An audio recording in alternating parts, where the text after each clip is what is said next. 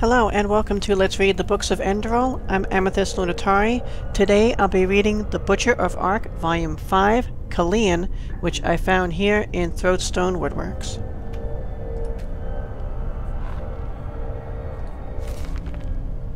Chapter 5, Qalian. The man before me towered over me by half a head. His physique was athletic, but not heavy, his eyes pitch black and sparkling. Yet it was his smile which grabbed my attention. It was peculiar and crooked, and it made me believe there was nothing that could impress this man. It was neither naive, like the smile of a child, nor was it cynical, like that of an old man who had seen too much. It did not compare to anything I knew. There he was, and both of us looked absurd. Me, a thin, plain-looking man, kneeling over the dead body of a giant, my hands coated in blood, my face apathetic, the dagger lying forgotten next to my feet. Him tall, handsome, dressed in elegant clothes, arms crossed, almost relaxed, observing me curiously. Suddenly I broke into loud laughter. I threw my head into my neck and simply laughed, loud and resounding, the laughter of a man who was so overwhelmed by the situation he found himself in that his mind left him no other choice. I tried to get up, away from the body, but slipped as my hand slid over the blood-soaked floor. I landed back on the corpse lengthways, feeling the still warm blood get sucked up by my clothes and spread in a damp spot across my chest. You have not yet eaten up, it shot through my head. Bad Jael. Instead of bringing me back to reality, the nonsensical thought fueled my laughter. I rolled on my back, clutched my stomach, and gasped for air. The man, whose name was unknown to me then, reacted in a similarly odd manner. First he rubbed his chin with a thumb and index finger and furrowed his brow. He acted like a farmer whose sheep had started to bleat and jump around as if they had been bitten by the Black Guardian. Then he laughed as well. For me and my overwhelmed, confused mind, the situation became even more absurd. I could barely breathe as the laughter grew so strong that my lungs threatened to fail. Suddenly, white hot tears ran down my cheeks. I heard a thud. My sight faded to black, and I lost consciousness. I woke up with a metallic taste in my mouth. My eyelids felt heavy, glued shut, and my sight was blurred when I managed to open them. I found myself in a forest under a small ledge of rock surrounded by dark pine trees. Outside the shelter, rain poured down. Only the fire which burned about an arm's length away kept me from feeling cold. I tried to turn my gaze so I could fully conceive my surroundings, but a biting pain exploded in the back of my head. I groaned and instinctively pressed my lips and eyelids together. Good evening, a voice said nearby. Startled, I tried to look in the direction where the voice had come from, only to be punished by more severe pain. This time a cry escaped my mouth. The voice responded with laughter. I heard someone stand up and approach. A pair of boots entered my field of vision, then someone knelt before me. It was the beau. He wore his chin-long hair in a small bun on the top of his head, which would have given him the look of an Arizalian monk if it were not for the elegant clothing. I am sorry about the bump, he said with, a, with an apologetic smile. I must have exaggerated a little. I stared at him in confusion. My memories of the day before were pale and distant, slow to return. The tavern, the humiliation by the two brutes, my plan for revenge, the stable. The instinct struck like lightning an old tree in a clearing. I had killed him, butchered him. I pressed my hands to my mouth, shivering all over despite the warmth of the fire. Every detail of last night's events re-entered my conscious thought with the force of a dropped anvil. How the brute had caught me in the act and dashed me to the ground. The pain when he had kicked me over and over. The rising of blazing rage. The smacking sound of the dagger piercing his back. His bewildered face. His hoarse voice shakily begging for mercy. My frenzy, my satisfaction, my ecstasy growing stronger with every stab. Without any warning, I vomited on my clothes. I coughed and retched, tears rising in my eyes. Slaughtered! You have slaughtered him! Again and again the words repeated in my mind. I was so consumed by my thoughts that I entirely forgot about the existence of the man in front of me. Finally, when the memories of that night caught up to me, and I remembered the moment when I had lost consciousness, I proceeded to stare at him in disbelief once more.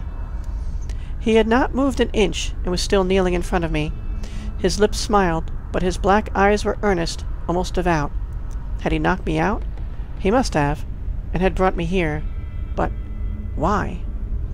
As if he had read the question in my eyes, he shook his head and pointed at a small bag next to my sleeping place. I looked at him with uncertainty, and his smile widened into a grin. What is it? You look at me as if I was Dalmaric's ghost. I felt my tension ease a bit.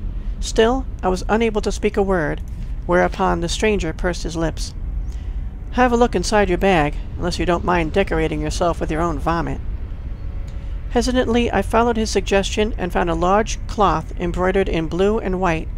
I shot another glance at him, like a child who had received something it had never held in its hands before. His brows knitted together skeptically, and I realized that my behavior must seem odd to him. Does it really seem odd? After all, he was the one who had brought me here, and he knows what has happened. Grudgingly, I crossed my legs and began to wipe the remains of whisper tree resin I had consumed yesterday from my robe. The beau observed my movements attentively. When I was at least a little more presentable, he rose and turned towards the dancing flames. There was something cooking over the fire. Drink. The bile made my mouth feel unpleasantly bitter, and my throat was dry as the dunes of the Pinnacle Desert. Briefly I felt the pang of hunger, but the memories of yesterday's events squashed it abruptly. The mysterious man ladled something from the kettle, and a faint breeze carried the scent of sugar-mint and honey to my nose. He faced me again, a bruised cup in each hand. He gave me one and sat down on a tree stump. It's only that bad the first time. I flinched. Pardon me? Surely you understand me. For a moment his gaze went distant, then he shook his head, almost unnoticeably, and refocused on me. But where are my manners? He knocked his fist against his chest a military salute which seemed inappropriate to his person. I am Qalian. When I did not respond, he asked, And who are you? I was inclined to tell the man a false name, but decided against it. Jael. Jael Tannerson. Qalian removed his glove, reached out to me, and I shook his hand. His grip was warm and firm. So, Jael, very pleased to meet you. He smiled and looked straight into my eyes without blinking. An awe of veneration ran down my spine. What a presence! I remembered the woman who had sat next to him the other day in the tavern. Now I understood why she had looked at him with such devotion. Uneasily I lowered my head. I envied Qalian's appearance, his demeanor, and his endearing manners. Despite the thousands of questions whirling in my head, I could not help but like the stranger. I was certainly not the first one to have this experience. He radiated a kind of venturesomeness that seemed powerful enough to tempt fate itself. Qalian withdrew his hand and took a sip of tea. Well, where do we start? I blinked helplessly. Start with what? The questions, of course. Don't tell me you don't have any. He studied me. Or maybe I should start. Where do you come from, Jael? You do not look like a man of the world. I come from a small village, I replied carefully. When Qalian only raised an eyebrow, I added, Fogville. Fogville, not a very exciting place. Now I was the one to raise my brow. You know Fogville? Qalian made a dismissive gesture. I stopped there once on a mission. You have a cozy tavern. Again that smile. And a few beautiful women. Yes, of course. What in the name of Malphas does this guy want from me? Yesterday he had caught me in the act. He knows and now we were verbally sparring like two hunters who had met in a tavern over a mug of mead. I decided to make a foray, not out of courage or bravery, but because I could not bear the weight of the unspoken words any more. Listen, Qalian. I felt a lump form in my throat and quickly drank some tea. It was so hot that I wondered how he had been able to drink without burning his mouth. How did I get here? Another smile, lenient this time. I brought you here. He seemed to notice the irritated look on my face and added, After I struck you down, let's say you had difficulty coping with the situation. After a moment of silence, I took care of the bodies. Bodies. The word jolted me, and again I felt bile rising up at the back of my throat. This time, however, I was able to suppress the urge to vomit, and was only left with a terrible taste on my tongue.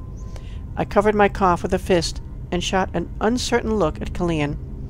He talks as if all of this is perfectly normal. But it was not, damn it. I had committed a crime, and even worse than the crime itself was the manner in which I had committed it. I am a monster, a god-forsaken monster. As if he had read my mind, Qalian le leaned forward. I know what you must think now, Jael. You feel guilty, don't you? You feel like a monster, or some such thing? I shifted in place as I did my best to maintain eye contact, but ultimately could not withstand the intensity of those black embers. I turned my gaze away. Qalian seemed to interpret that as agreement. Forget about that nonsense. What you did was the right thing. A sad laugh escaped my throat.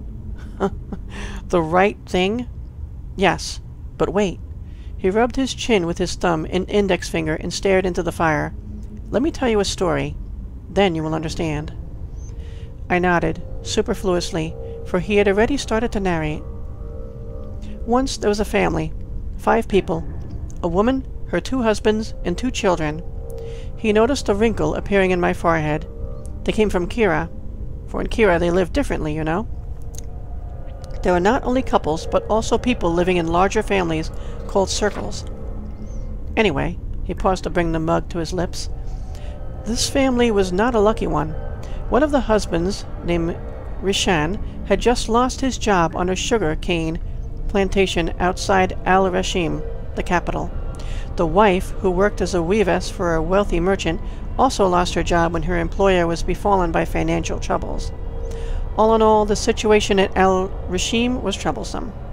The streets were dangerous, the flesh maggot plague was wreaking havoc under the population, and it was a bad time for people who lived in a circle with two children and who had no pennyals in their pockets. So they decided to find happiness elsewhere.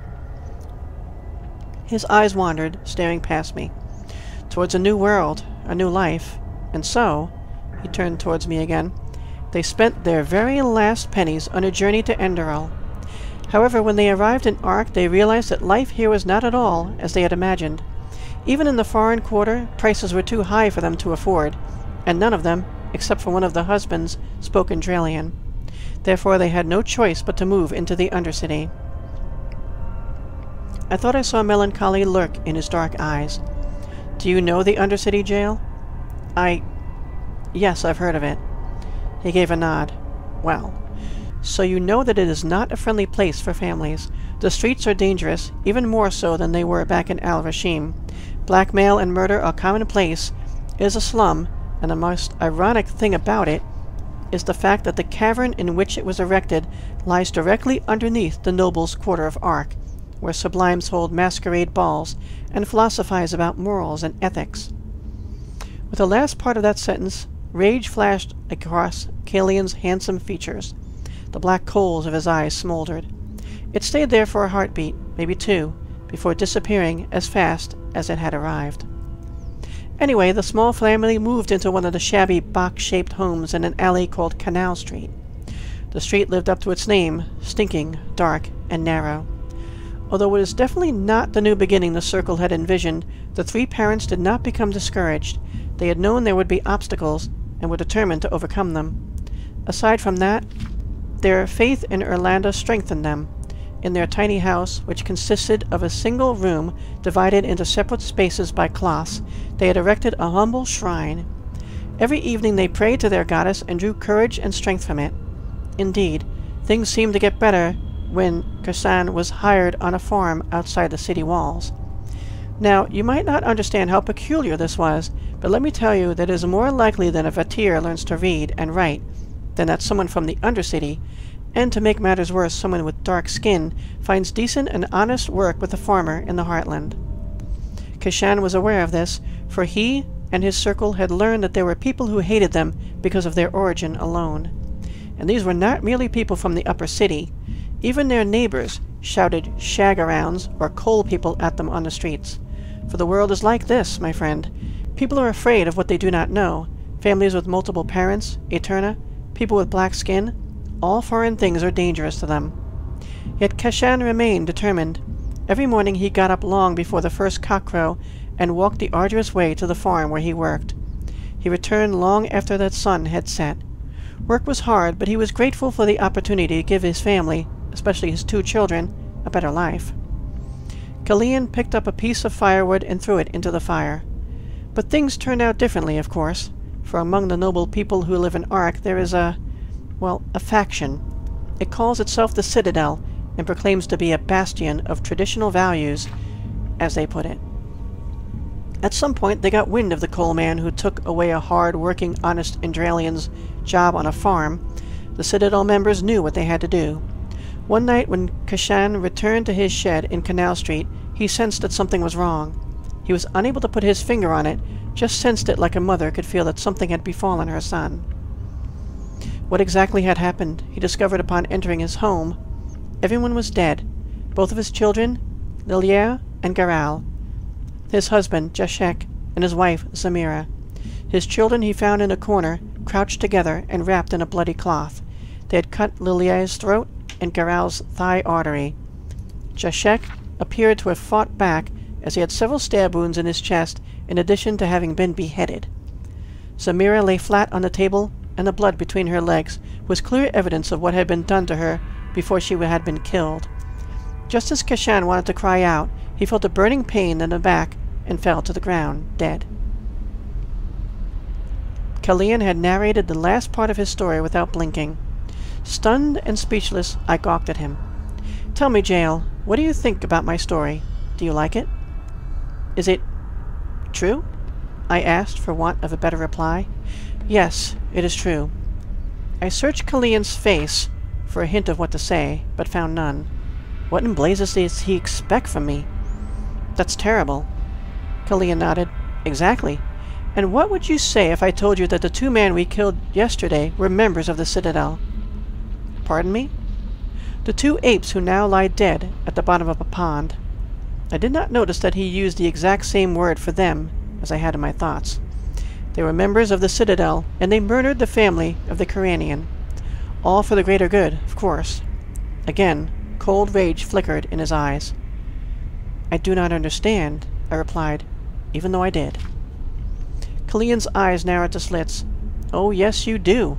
Salbor and Andreo Mithal, they are sons of a wealthy ruler from Enderal's north, and they are murderers. For a short, irrational moment, I was flooded with triumph. They had deserved to die. The corners of my mouth twitched, but then the terrible memories of the knife and pain and ecstasy returned. Memories of the joy I had felt when I stabbed the man, butchered him. The blood. But I was not aware of it, even if... I stopped mid-sentence and cast my eyes to the ground. How could I in any way describe what I felt? For a while there was silence between us. Just when I looked up, refining my courage to ask a question, Qalian did something unexpected. Before I knew what was happening, he was right in front of me, leaving only two hands' width between our faces. I would have flinched, but something in the man's gaze paralyzed me. I was unable to move, stiff as a wax figure. Initially the change in him failed to register, and then I saw it. His eyes were blazing. My first thought was that I was a reflection of the campfire, but then I realized that the fire burned behind Qalian. I knew his eyes had indeed changed color. They were like glowing coals, like a candle wick just before it was completely consumed by fire. His features had shed the joviality they had worn for the past thirty minutes. Then he began to speak, quietly, but sound and clear.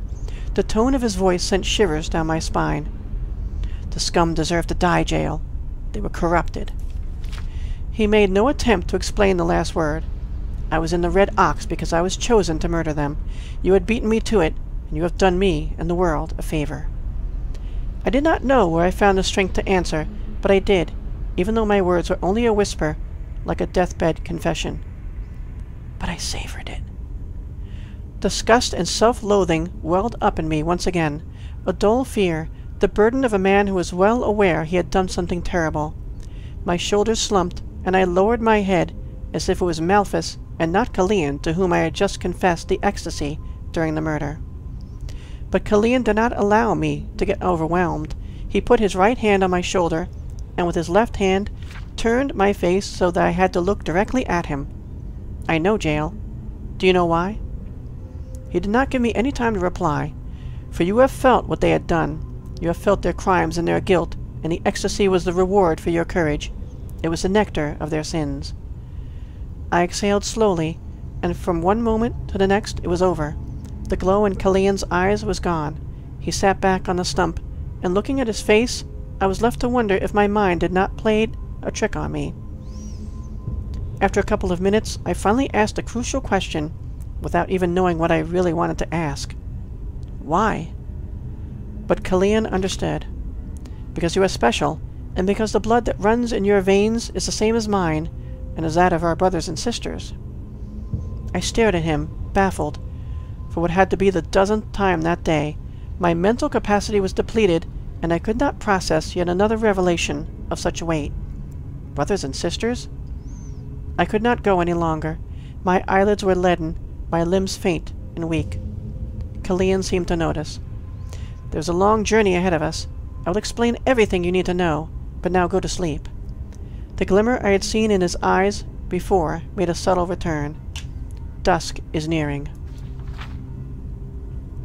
The following morning, the both of us, as different as day and night, headed toward Ark, the legendary capital. He was well dressed, handsome, and always confidently smiling. I was dressed in worn clothes, had a hooked nose, and the puzzled look of a man who had no idea what was happening to him. The first two days of our journey were terrible. I barely ate, and I frequently thought I could see blood on my hands or hear human death cries among the singing of the birds. Even the silence did not calm me. Please, no. You might ask yourselves why I followed the strange man, and I cannot give you a clear answer to that question. Surely many things would have turned out differently if I had slipped away in the gray mist of the morning. But my exhaustion did not allow me to leave. I probably would not have left anyway, since Qalian's words had a hypnotic effect on me which I was unable to explain to myself. It was the nectar of their sins. A thousand questions haunted me. Nevertheless, the knowledge that the murder I had committed was a good and righteous deed served as a straw for my plagued mind to cling to. It was a peculiar feeling to have killed a man. Young soldiers and guardsmen have colorful dreams about honor and glory. When they fantasize about thrusting a sword into a pathless man's chest, they believe it to be a wondrous feeling. Even though the experience had been exactly that for me, the aftermath was not. My state shifted between an emotionless paralysis and lightning-fast epiphanies which filled me with guilt and disgust, and overcame me with the force of autumnal floods on the coast of Maiar. In these moments one wonders if killing can be justified at all. The more often you perform the act of killing, however, the fewer doubts you have. The coldness grows until the taking of a life becomes trivial. Back then, though, this way of thinking was unfamiliar to me. When on the first evening Qalian offered me a bowl of hot steaming oatmeal and blood-red wild berries in the light of the setting sun, my stomach recoiled even before I had eaten a spoonful. Did I notice a hint of guilty conscience in Qalian's eyes? Or was it amusement? I did not know. While we packed our belongings, I asked him about the meanings of yesterday's statement once more. He only shook his head and told me that the meaning of the fire could not be taught by conversation alone, just as swimming could not be learned by reading treatises about the consistency of water.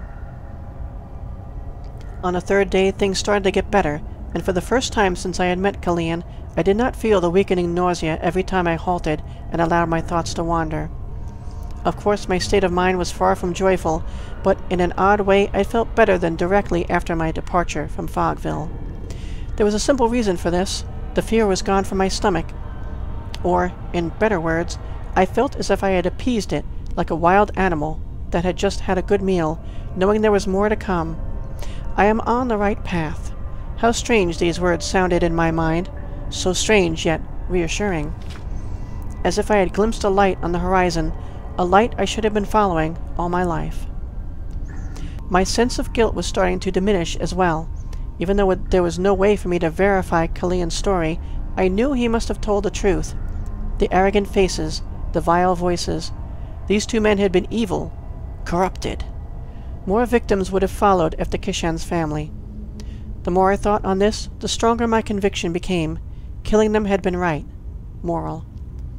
While we were on the road, Qalian told me a lot of other things, a great deal of them stories from his past. I learned that he hailed from Nehrim, which explained his subtle accent. He had grown up in Quebec, the capital of the North Realm. Just as the Middle Realm, it fell under the rule of Chancellor Baratheon, but Qalian believed that a civil war between the Northern Separatists and the Chancellor was imminent within the next ten years. His migration to Enderal had many reasons, and with a rejecting, albeit not harsh, look, he indicated that I was not yet ready to know these chapters from his past. After a week's march, we arrived in Ark. I do not wish to waste ink with descriptions. I am certain that the capital of Enderal is well known to you, and you might imagine how overwhelmed I was by its sight when we first saw it from a small mountain ledge, and I spent minutes watching the city bathing in the light of the setting sun. Impressive, isn't it? Qalian remarked. I murmured something without turning my gaze. He let out a laugh. Indulge! Sometimes the first time is the best time, he said, and sat down on the edge of the cliff, a chasm about four hundred arms lengths deep. I watched him close his eyes and let the evening sun warm his face. Again, I felt envy sting. If a young woman had come up the hill, she would have considered him to be the hero of a bard's song. But at the same time I knew that Qalian was not showing off. He was simply enjoying the moment and the sunlight, an ability I had not developed in my life. It was already dark by the time we arrived at the gates and showed our papers to the city guards to request entrance. We pretended to be merchants from Arazeal who had had to put in at the harbor of Duneville due to unfavorable weather. After examining the papers quickly, the guardswoman allowed us into the city. When the heavy gates shut behind us and the portcullis descended with a loud rattle, any lingering thoughts I might still have had about returning to my old life as a priest vanished. Our first step was a tavern called the Dancing Nomad. Qalian opened his bulging purse and invited me to a stew of sugar beets, crunchy Enderalian bread, and very expensive beer from Kabat. We did not talk much. Instead, we listened to the music of a beautiful red-haired bard, whose dark voice was in stark contrast to her fragile physique. She sang traditional tunes such as the Song of the Aged Man, the Wayward Wanderer, or the Maid in a Silver Glow. I averted my eyes and feigned great interest in my cleared plate when Qalian joined in with the last song in full voice. Only when I noticed that people did not object his good but not brilliant singing, but began to sing along as well, my unfounded shame faded, and I became increasingly comfortable. We stayed in the tap room until late. When only five other guests were with us, I dared ask the question which had been burning on my lips. What now? Qalian's gaze met mine, and he did not lower it until I directed mine towards the ground. Despite having spent a week in his company, his demeanor could still make me uneasy. I heard a sound which could have been muffled laughter as well as a sigh, and I chanced a glance back up. Now we are going to sleep like logs, and tomorrow, his eyes sparkled for a moment, the first lesson awaits you. I had no idea what his words meant. The first lesson? He smiled. Thank you for listening to Let's Read the Books of Enderal, The Butcher of Ark, Volume 5, Qalian.